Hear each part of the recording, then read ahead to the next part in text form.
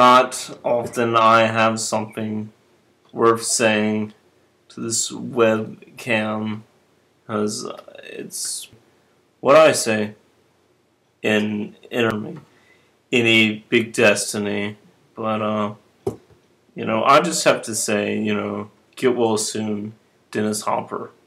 You have made so many great movies that have influenced my life forever. I quote you in Blue Velvet, and I that's where I keep the namesake for one of my my musical musical project, uh, which is amalgamation of many stylings. But um, you know, thank you, Dennis, for making such great uh, art and uh, really launched. Um, you are unique in a way that you know nobody can begin to comprehend.